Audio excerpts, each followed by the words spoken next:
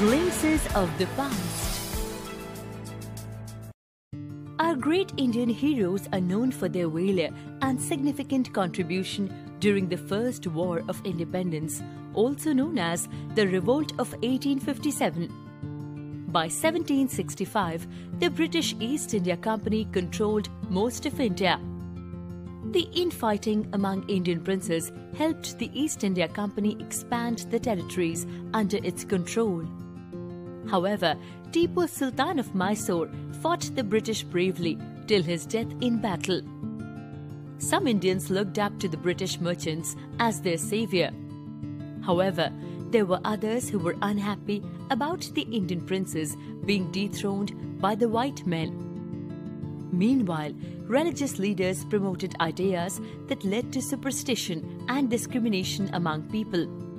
The British sought to earn profit by levying heavy taxes on farmers. When they couldn't pay, their crops were taken away. The British decided to waive off the import duty on goods manufactured in England. As a result, cheap British made goods flooded the Indian markets and Indian artisans lost their livelihood. Raja Ram Mohan Roy, a learned scholar from Bengal, realized that Indian society needed to be reformed. So he went to England to understand what made them powerful. Meanwhile, the British continued to ill treat Indians.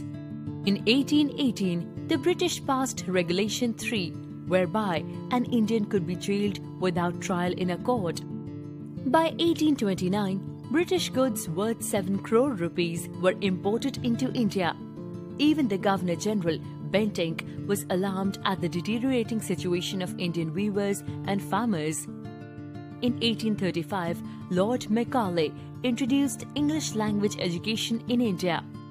English education produced a new generation of learned Indians who became vocal in expressing the problems of Indians before the British Parliament. By 1856, the British had conquered the whole of India but they were not concerned about the plight of Indians. In some parts of the country, they began forcibly converting Indians to Christianity.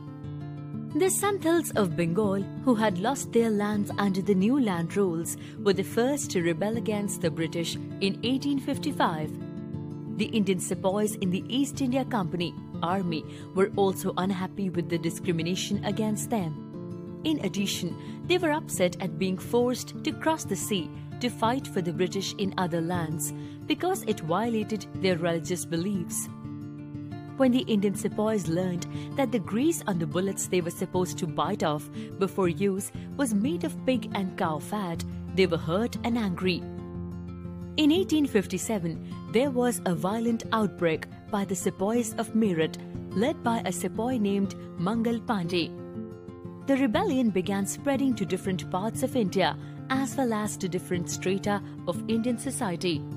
Many landlords supported the patriots.